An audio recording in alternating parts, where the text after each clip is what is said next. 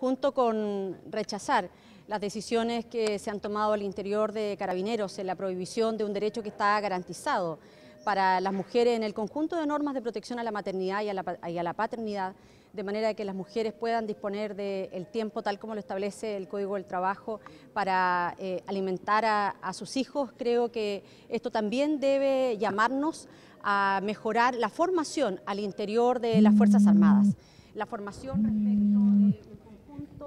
normativa no solo de protección a la maternidad y a la paternidad, sino también de actualización permanente del respeto a los derechos humanos, entre otras cosas. Esto obliga también a una revisión general, no solo de la actualización de mm, eh, los grados eh, más altos que toman decisiones en las distintas instituciones de, las ramas de las Fuerzas Armadas, sino también de un trabajo permanente porque uno no deja más que sentir un tremendo orgullo de ver cómo eh, mujeres defienden incansablemente este derecho que hemos conquistado, hemos ganado y tiene que estar resguardado para todas las mujeres independientemente del lugar donde ellas trabajen.